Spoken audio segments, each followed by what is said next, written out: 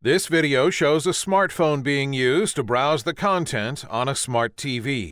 This interaction is based on advanced gesture recognition. High accuracy of motion detection is a key factor for browsing precision, and this is achieved using multiple MEMS sensors whose inputs are fused together by the iNemo engine software. The demo presenter is using a mobile phone and a TV that are already on the market. Web browsing is performed running the original internet browser installed on the TV without any customization.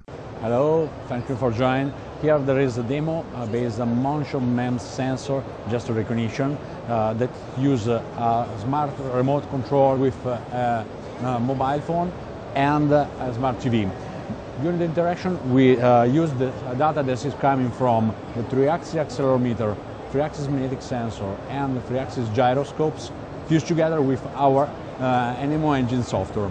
The results in this demo is a, a, a remote control that allows to navigate and browsing in very high performance way.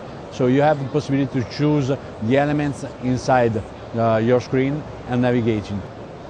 But uh, the system can be also used uh, for gaming uh, or advanced control. For further information on ST's MEMS sensors, visit www.st.com/mems.